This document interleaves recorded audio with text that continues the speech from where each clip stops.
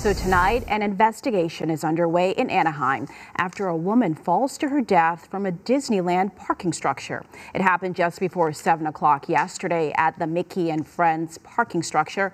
Officers responded to reports that someone had either jumped or fallen from the building. Authorities provided medical care until paramedics arrived. She was taken to a hospital where she was pronounced dead. This is now the second death to occur at the theme park mm. since December.